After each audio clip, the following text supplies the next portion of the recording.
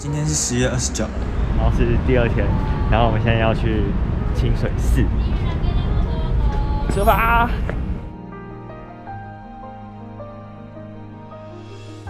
在前往清水寺的路上，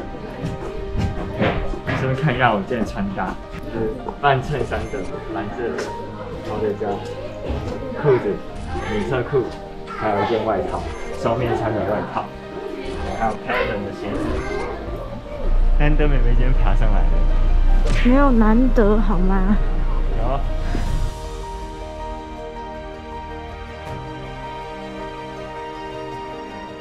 我们现在在清水寺的三重塔和西门，然后还可以俯瞰日本的美景。Let's go！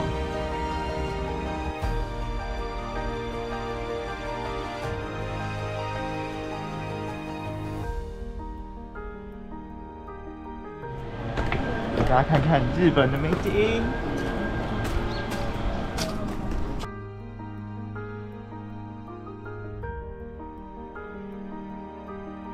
好没有？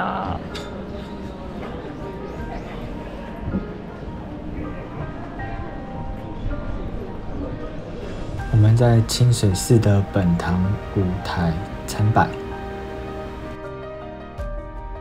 有，刚才讲在台湾吗？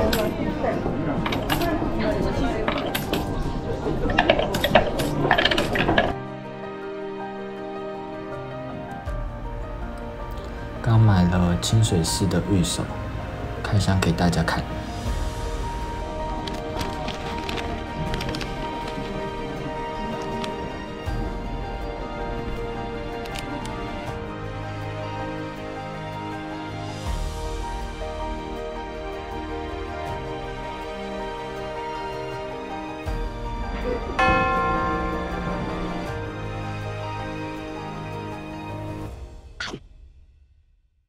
中午我们来到了一家名为“英语茶寮”的地方吃午餐，而且就在清水寺旁边而已，相当方便。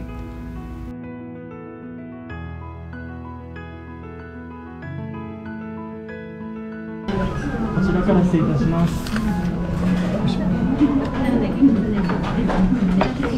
我点的是汤豆腐雨伞，妹妹点的是荞麦面套餐，爸爸点的是生腐皮九条葱油豆腐荞麦面。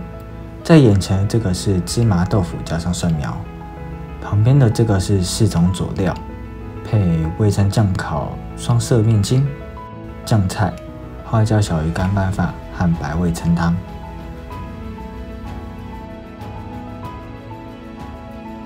不得不说，芝麻豆腐真的是很赞诶！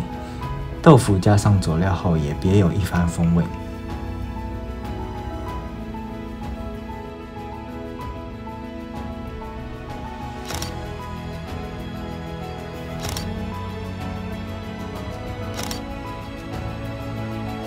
吃饱喝足后，接下来我们来到附近晃晃。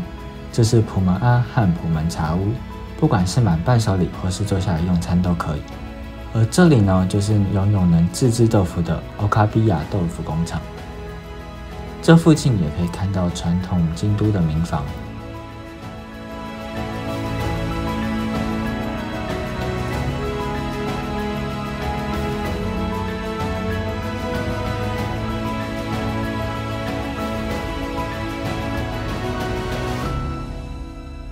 接下来前往高台寺前先决定在一间日式甜点店停下来品尝抹茶红豆冰淇淋。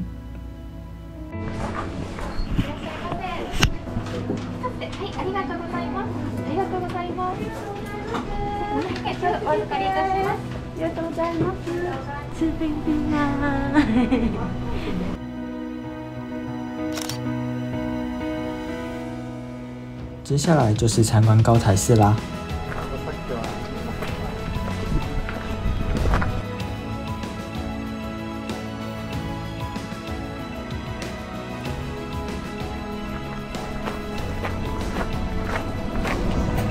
去高台寺。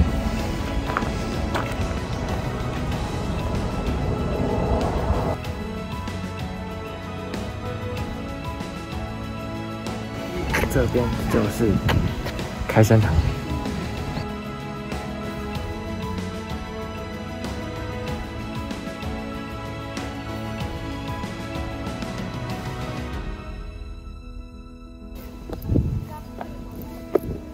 高台寺除了可以看到跟丰臣秀吉相关的文物之外，里面的竹林也是相当美呢。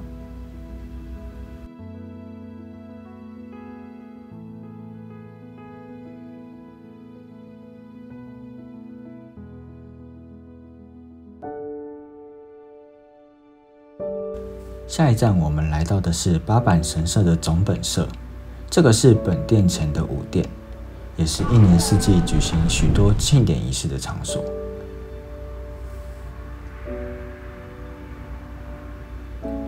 而这边就是本店啦。出来之后呢，就可以在紫园四条商店间逛逛，也可以前往附近的花见小路。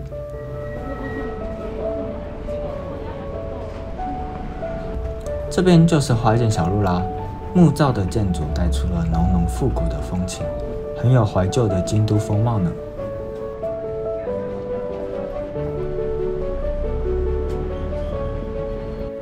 这里就是来京都一定必来的鸭川。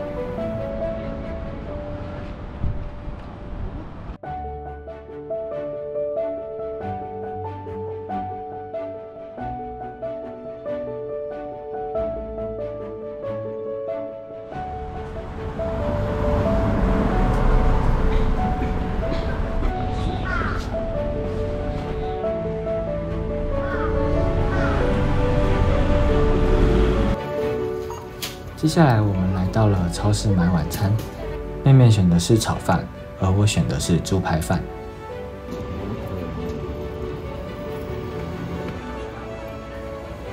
晚上呢，则是在京都车站附近晃晃，还看了水舞秀，作为今天的结尾。